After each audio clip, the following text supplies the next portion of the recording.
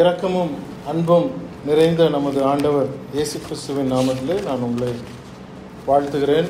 கர்த்தருடைய நாளிலே தேவனை தொழுது கொள்ளும்படியாக கூடி வந்திருக்கிற நம் ஒவ்வொருவரையும் தேவன் தாமே ஆசீர்வதித்து வழிநடத்துவாராக. மனதுருகும் தேவன் என்ற தலைப்பிலே உங்களோடு இந்த நாளிலே நான் பேச வேண்டும் என்று சில வசனங்களோடு கடந்து வந்திருக்கிறேன். மனதுருக்குகிற தேவன்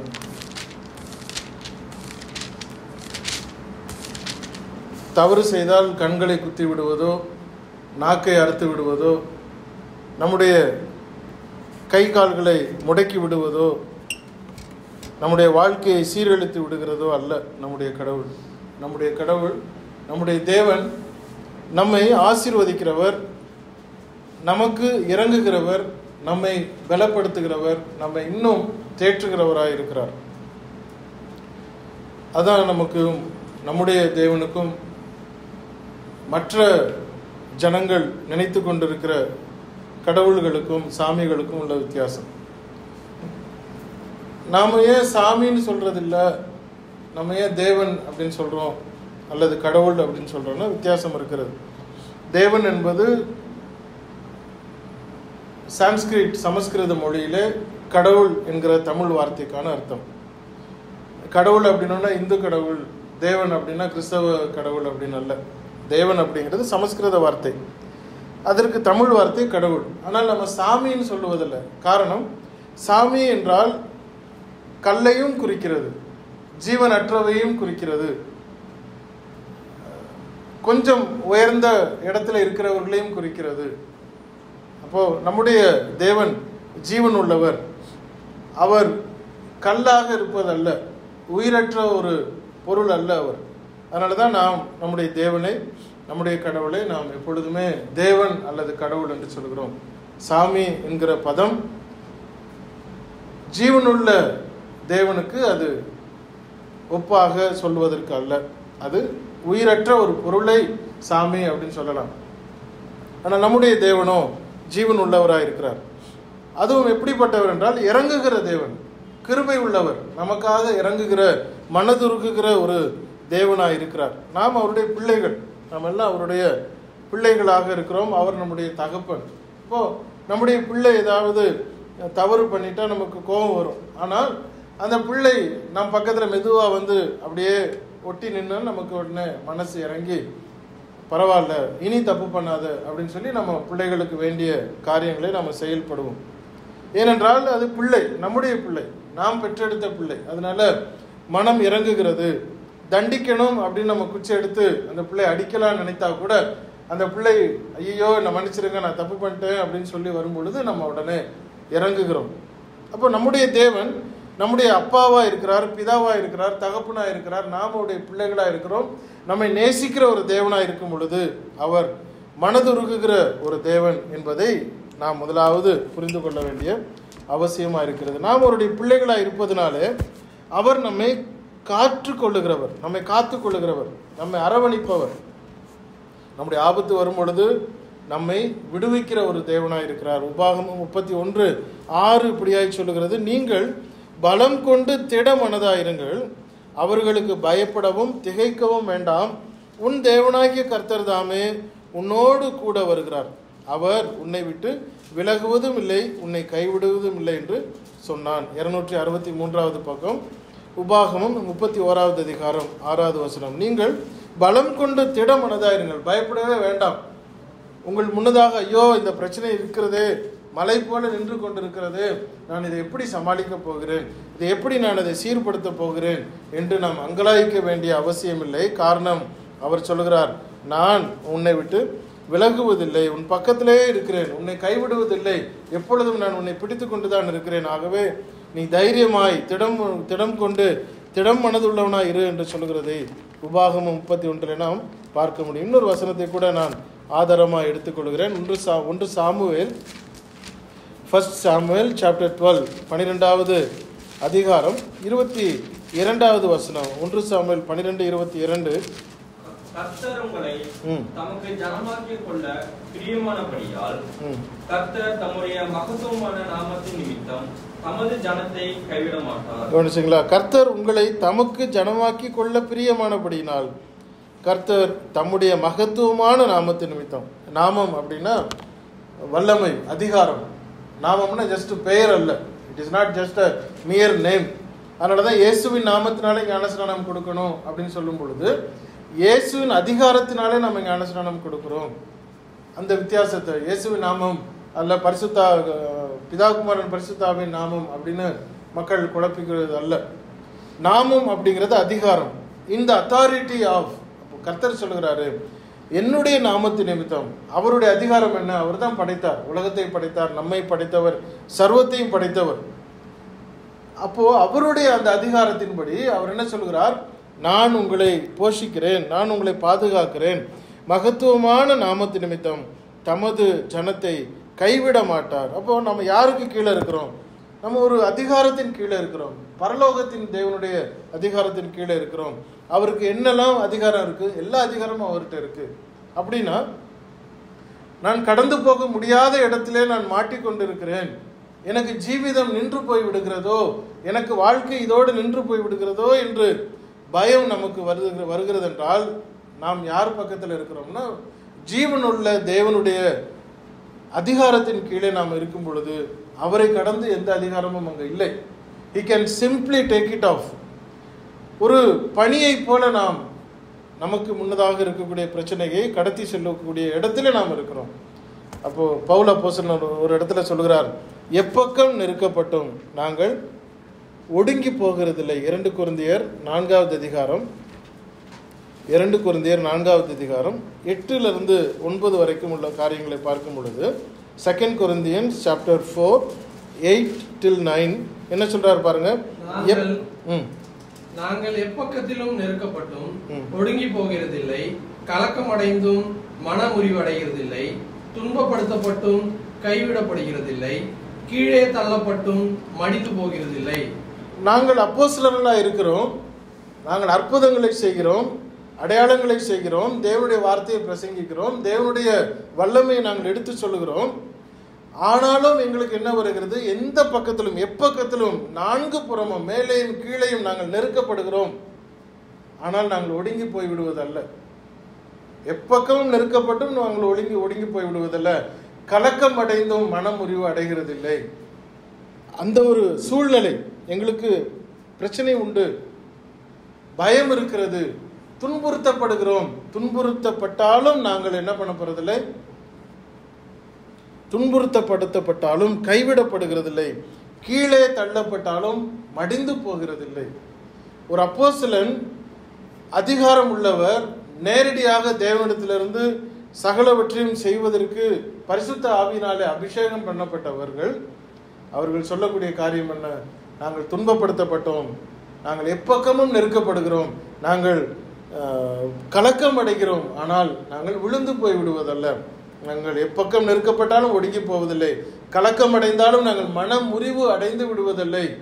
நாங்கள் துன்புறுத்தப்பட்டாலும் நாங்கள் மடிந்து போகிறதில்லை. கைவிடப்பட்டாலும் நாங்கள் மடிந்து போய் விடுவதில்லை. கீழே தள்ளப்பட்டாலும் நாங்கள் எப்பொழுதும் நாங்கள் நாங்கள் தான் அப்போது நாம் தேவனுடைய பிள்ளைகளாக இருக்கிறோம். நமக்கு பிரச்சனை வருகிறது. நமக்கும் துன்பம் வருகிறது.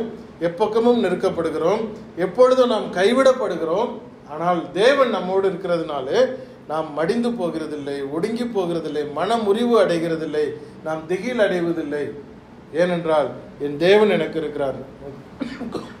குழந்தைகளை சொல்லும் பொழுது நமக்கு எவ்வளவு சோதனையை நாம் தாங்க முடியுமோ அவ்வளவுதான் அவர் அனுமதிக்கிறார். அதற்கு மேலே நம்மை அவர் சோதிப்பது அல்ல.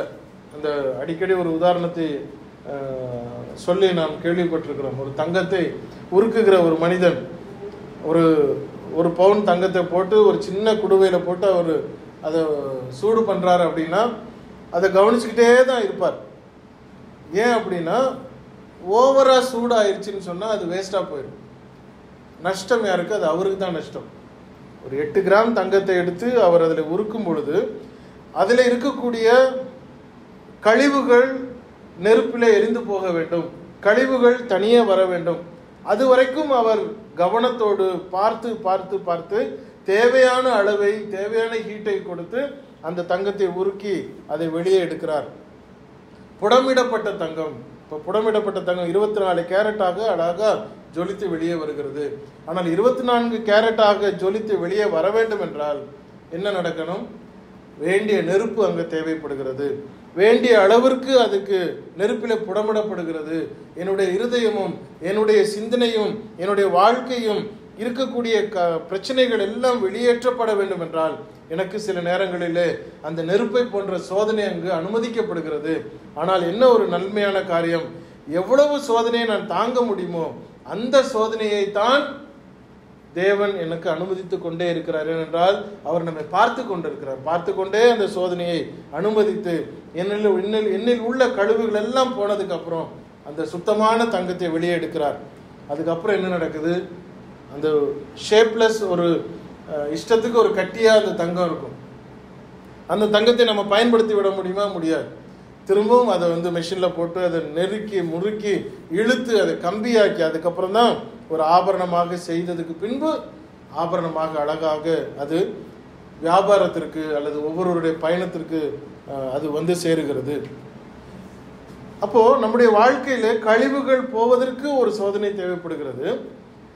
நாம் பரிசுத்தப்படுத்தப்பட்டோம் தேவனுடைய பிள்ளையாக மாறினோம் இனி அலங்காரமாக மற்றவர்களுக்கு பயன்படுத்தப்படுவதற்கு தேவையான அளவிற்கு நாம் மீண்டும் அங்கு துன்புறுத்தப்பட்டு மனமுடிவு அறையப்பட்டு அங்க கலக்கம் அடைந்து திகில் அடைந்து நம் மன முடிவு அடைந்து விடாதபடிக்கு மடிந்து போய் விடாதபடிக்கு நம்மை ஆபரணமாக மாற்றுகிற ஒரு தேவனாக இருக்கிறார். சங்கீதம் தொண்ணூற்றி ஐந்து ஏழை பாருங்க. சங்கீதம் தொண்ணூற்றி ஐந்து ஏழு. அவர் நம்முடைய தேவன். நாம் அவர் மேய்ச்சலின் ஜனங்களும் அவர் கைக்கு உள்ளான ஆடுகளுமாமே. நம்ம எப்படி அவர் வைத்திருக்கிறார்? கைக்கு உள்ளே அவர் வைத்திருக்கிறார் என்று சொல்கிறார். அவருடைய மேய்ச்சலின் ஜனம் அவர் எங்கே நமக்கு தேவை? எந்த இடத்துல போனால் நல்ல புல் புல்லு கிடைக்கும்? எந்த இடத்துல போனால் நல்ல தாகம் கிடைக்கும்? எந்த இடத்துல நல்ல தண்ணி கிடைக்கும்? எந்த இடத்துல நம்ம வந்து புல் புல்லு சாப்பிடும் பொழுது நம்முடைய அந்த நாசில்ஸுக்குள்ளார மூக்குக்குள்ளார புழு எதுவும் போய்விடாமல் இருக்குவதற்கு தேவையான அளவிற்கு அவர் அதெல்லாம் கவனித்து கவனித்து சங்கீதம் இருபத்தி மூன்றில் நாம் அதை பார்க்குறோம். அவர் வந்து என் தலையை எண்ணெயால் அபிஷேகம் பண்ணுகிறார் என்று சொல்கிறார் தலையை எண்ணெயால் அபிஷேகம் பண்ணுறேன்னா என்னது? தலையில் எண்ணெய் ஊத்துறது கிடையாது.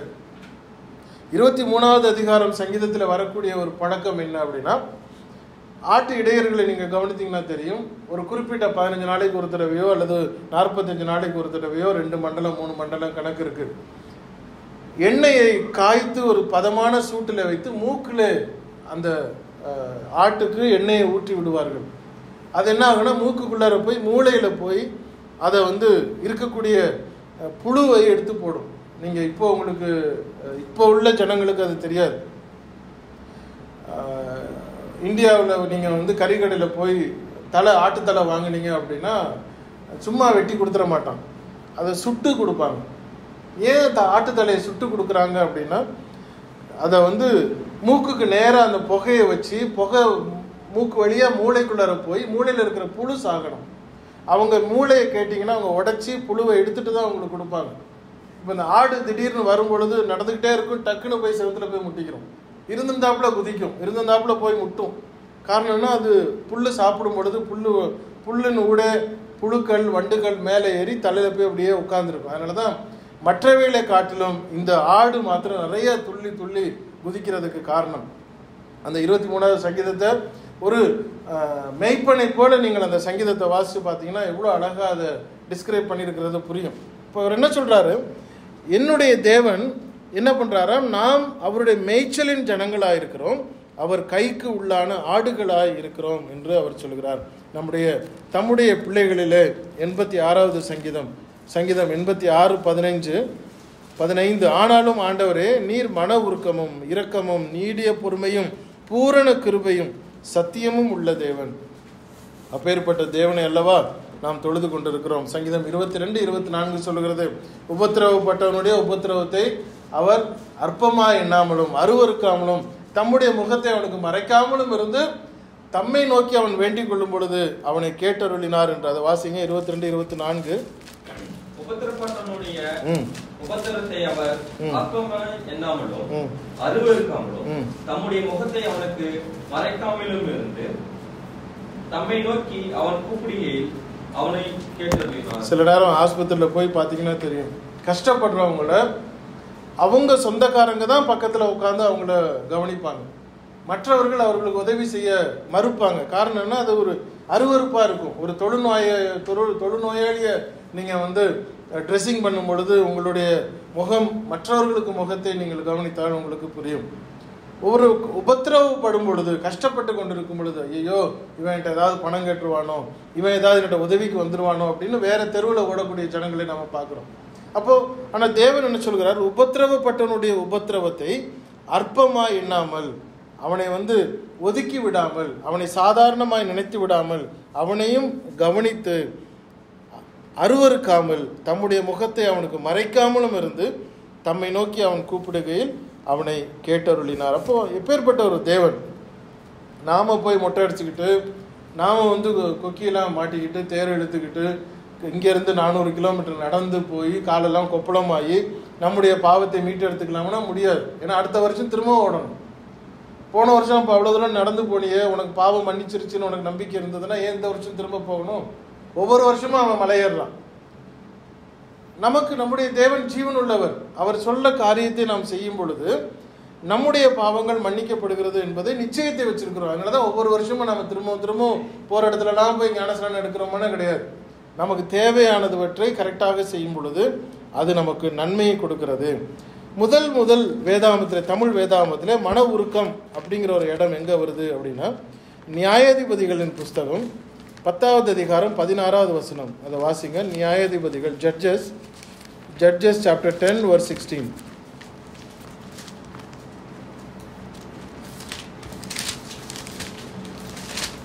முன்னூற்றி பதினெட்டாவது பக்கம்.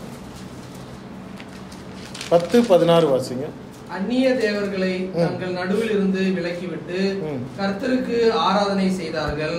அப்பொழுது அவர் இஸ்ரவேலின் வருத்தத்தை பார்த்து மனதுருகினார். முதல் முதல் தமிழ் வேதாகமத்தில் மனது உருகி அப்படிங்கிற வார்த்தை இந்த இடத்துல தான் வருது. எத்தனை புத்தகங்கள் தாண்டி? இந்த இடத்த நீங்கள் கவனிக்கும் பொழுது மூன்று ஸ்டெப் அங்கே சொல்லப்படுகிறது. முன்னூற்றி பதினேழாவது பக்கம் நியாயாதிபதிகள் பத்தாம் அதிகாரம் பதினாறாவது வசனம்.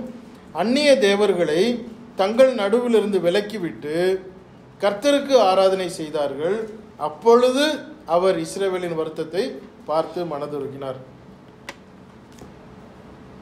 மனதுருகிற தேவன்தான் இரக்கமுள்ள தேவன்தான் நம்முடைய தேவைகளை சந்திக்கிற தேவன் உபத்திரவப்படுகிறவர்களை அவர் அருவருக்காதவர் தான்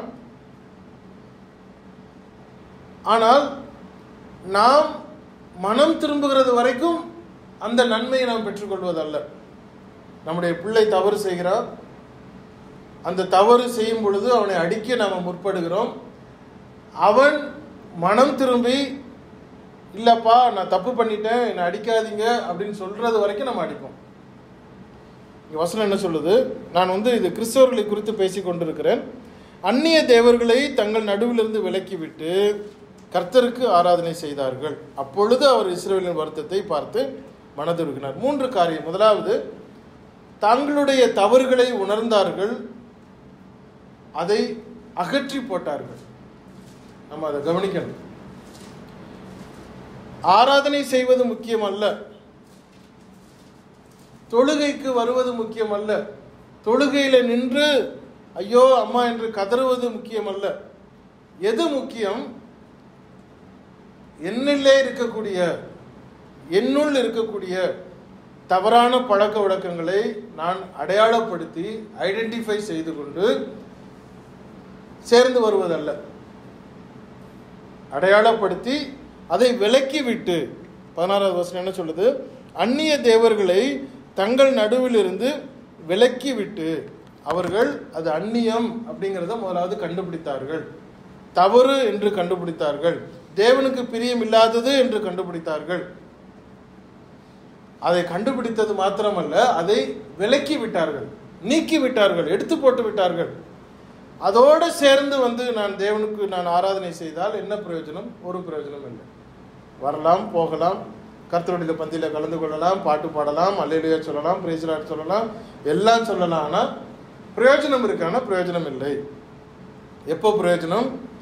என்னிலே இருக்கக்கூடிய தீமைகளை நான் முதலாவது அடையாளப்படுத்தணும். நமக்கு அடையாளப்படுத்தினாலே அன்றி நாம் அதை விலக்கி வைக்க முடியாது. பல நேரங்களில் நமக்கு தெரியும் இது தவறு அப்படின்னு தெரியும். இது சரியில்லை அப்படின்னு தெரியும். ஆனாலும் அதை விலக்கி வைக்க நமக்கு மனசு வராது. தவறுன்னு தெரிந்தாலும் அதை உதறி விட்டு வர்றதுக்கு நமக்கு மனசு வராது. எத்தனையோ விஷயங்களை நம்ம நினைக்கிறோம். கத்துடைய பந்தியில் எப்போவுமே வந்து சோதனை தம் நம்மை நாமே சோதித்து அறிய வேண்டும் அப்படின்னு சொல்லி சொல்லக்கூடிய நேரத்தில் எதை நம்ம சோதிக்கிறோம்? அப்படியே இருந்துட்டு ஆண்டவரே ஆண்டவரே ஆண்டவரே நம்ம நினைக்கிறோமா? இல்லை என்னத்தை சோதிக்கிறோம்? இப்போ காணிக்கையை நீ கொண்டு வரும் பொழுது காணிக்கையை வைத்து விட்டு முதலாவது போய் உன்னுடைய சகோதரனிடத்தில் ஒப்புரவானதுக்கு பின்பு நீ வந்து காணிக்கை செலுத்து அப்படின்னா என்ன அர்த்தம்? ஆராதனை செய்வதற்கு முன்னதாக காணிக்கை என்பது ஒரு தொழுகை. That is also part of worship காணிக்கை என்பது தேவனை தொழுது கொள்வது. அப்போ தொழுகைக்கு வருவதற்கு முன்பதாக ஒவ்வொரு முறையும் நான் யாரா இருக்கிறேன் தேவனுடைய பிள்ளையா இருக்கிறேனா தேவனுடைய விருப்பத்திற்கு விரோதமாக ஏதாவது என்னிலே இருக்கிறதா? அதை நான் முதலாவது ஆராய்ந்து அறிந்து அதை நான் விலக்கி விட்டு அப்போ இது ஒன்று அண்ணன் அங்காளி பங்காளி சண்டையா? இன்னொரு தேவனை நீ வந்து அந்நிய தேவர்களை கும்பிட்டதுனால நான் உனக்கு ஹெல்ப் பண்ண மாட்டேன் அப்படின்னு சொல்லி தேவன் வந்து அவங்களுக்குள்ளார சண்டை போட்டுக்கிறாரா? கிடையாது. நம்முடைய நம்பிக்கை என்னுடைய நம்பிக்கை என்னவா இருந்தது? இஸ்ரவேலின் தேவன் உலகத்தை உண்டு பண்ணின தேவன் சர்வ வல்லமை உள்ள தேவன் ஜீவன் உள்ள தேவன். இவரை விட்டுட்டு வேறொரு சாமிய வேறொரு கடவுள் என்று சொல்லப்படுகிறதை நான் நம்பிக்கொண்டிருந்தேன். என்னுடைய கணவன் சொன்னாரு என்னுடைய மனைவி சொன்னாங்க என்னுடைய பிள்ளைகளுடைய ஊரு எங்க குலதெய்வம் எங்களுடைய வழிமுறை வழிமுறையாக நாங்கள் அதை தான் நாங்கள் கும்பிட்டுக்கிட்டு இருக்கோம். அதனால அதையும் நாங்கள் விட்டுற முடியாது. ஞாயிற்றுக்கிழமை வந்து அந்த பக்கம் நாங்கள் பிரைஸ்லாட்டு சொல்லிக்கிறோம் அப்போ ரெண்டு பக்கமும் ரெண்டு காலை வைத்து கொண்டிருந்தால் கடைசியாக கிழிப்படுறது யாரு? நம்ம தான் பீறுபடுவோம் ஏன்னா ரெண்டு பேரும் ஹெல்ப் பண்ண மாட்டாங்க. ஒன்றும் ஹெல்ப்பே பண்ண முடியாது. நீங்க தூக்கி வச்சா அந்த பக்கம் நிற்கும் நீங்க தண்ணி ஊற்றி கழுவுனா கழுவும். நீங்க பவுடர் போட்டிங்கன்னா பவுடர் போட்டுக்கலாம். இதில் இவங்க ஹெல்ப் இதில் என்ன பண்ணுறாங்கன்னா அதுக்கு என்ன சொல்லுவாங்க? அதுக்கு பவர் ஏற்றி கொண்டு வந்து வைப்பாங்க. அந்த பவர் ஒரு வருஷத்துக்கு ஒரு தடவை பவர் தீந்துரும்னு திரும்ப எடுத்துகிட்டு போய் திரும்ப பவர் ஏற்றி கொண்டு வந்து வைக்கிற எத்தனை மீட்டர் காட்டும்?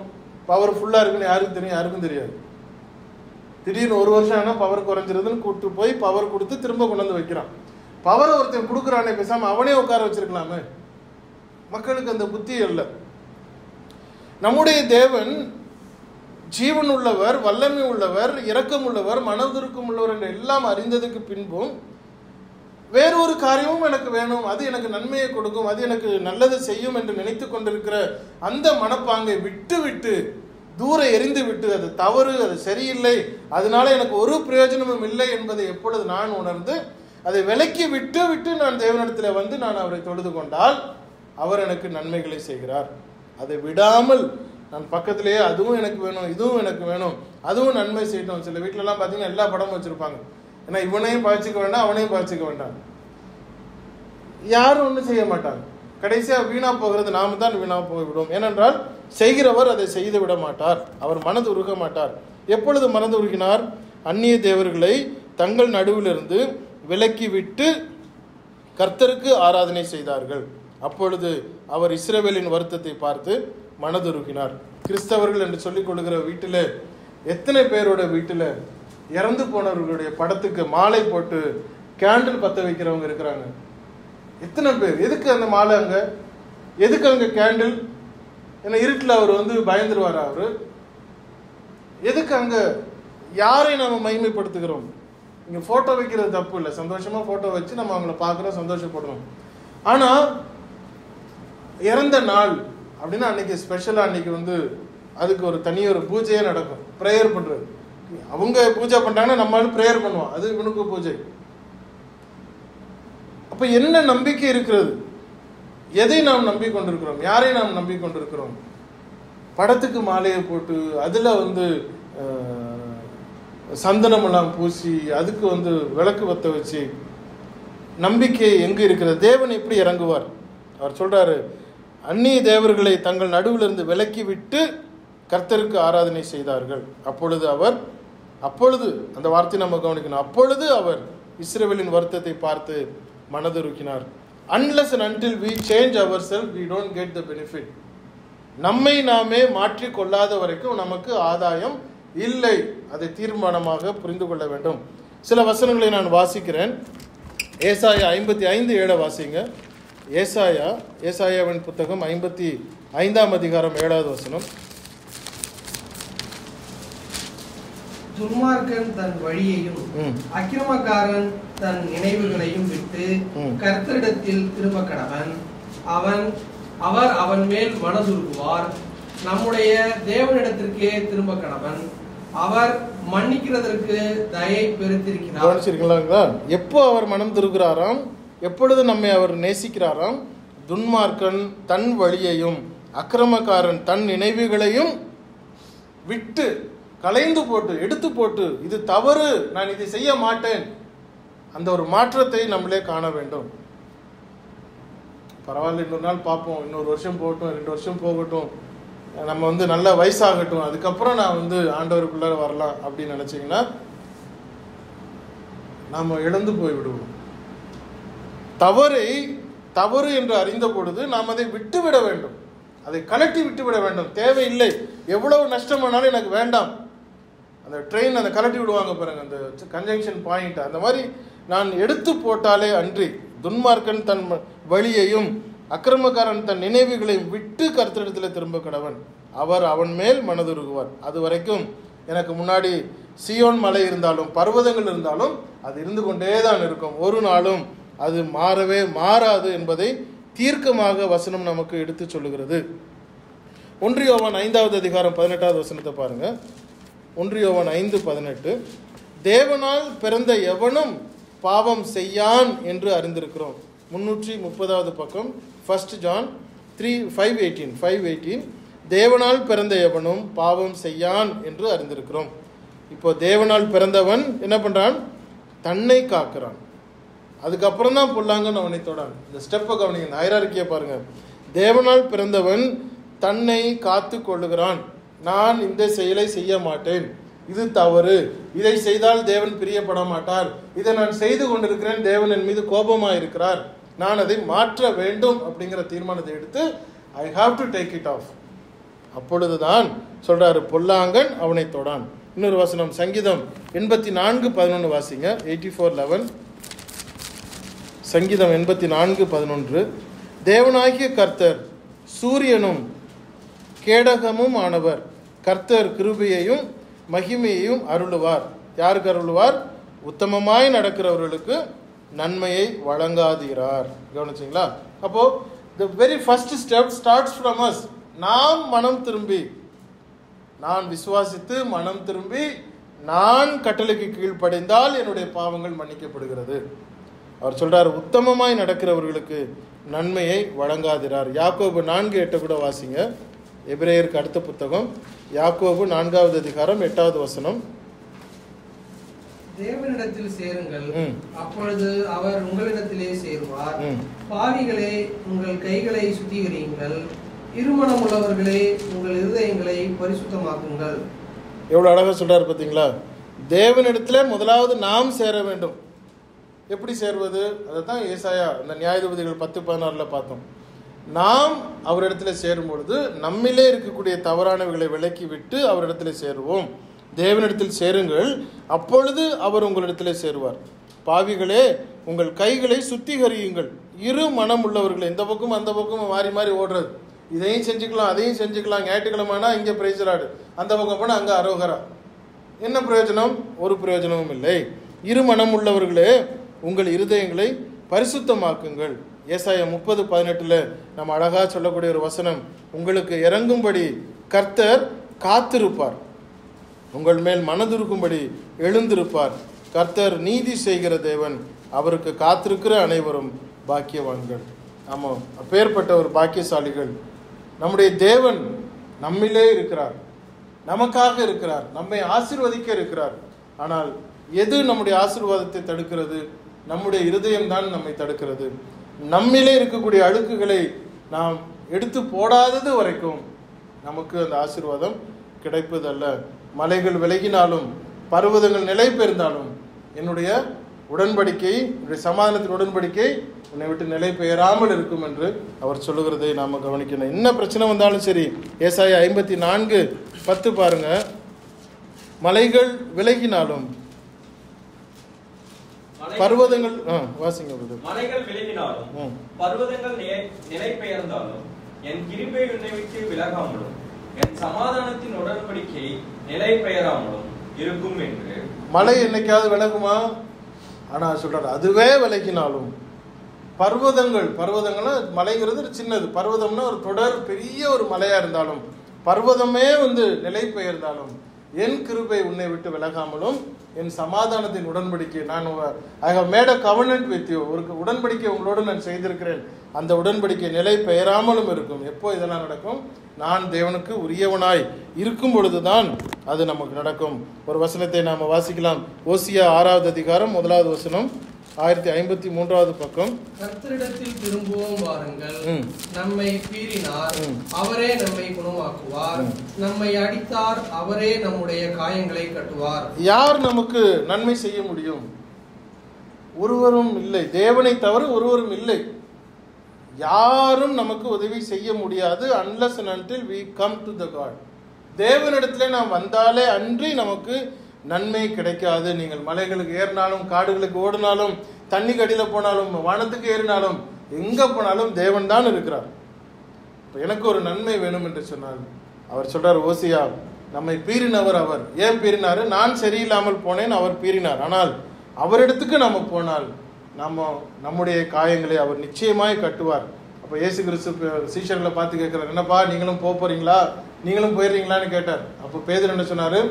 எங்கே போவோம்? உம்மிடத்திலே ஜீவ வசனம் உண்டு. யார் இடத்துல நாங்கள் போவோம்?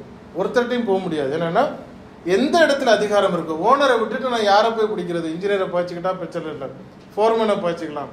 அல்லது கூட இருக்கிறவங்கள பாய்ச்சிக்கிறான் ஓனரையே பாய்ச்சிக்கிட்டா என்னத்துக்கு ஆகும்? எனக்கு திரும்ப வேலை வேணும். நான் ஒழுங்கா இருக்கணும்னா கடைசியாக நான் ஓனர்கிட்ட தான் திரும்ப போகணும்.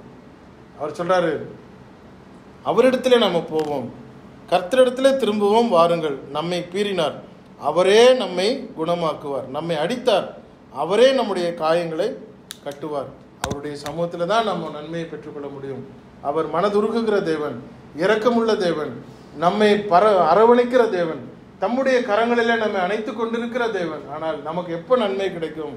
நாம் வேறு இடத்துல வைத்திருக்கிற நம்பிக்கையை எடுத்து போட்டு தேவனிடத்துல வந்து மனம் திரும்பி அவரை தொழுது கொள்ளும் பொழுது நம்மை ஆசரிக்கிற ஆதாரி ஆதரிக்கிற ஆசீர்வதிக்கிற மனதுருகிற தேவனாக இருக்கிறார் தேவன் தாமே இந்த வார்த்தைகளை ஆசீர்வதிப்பாராக.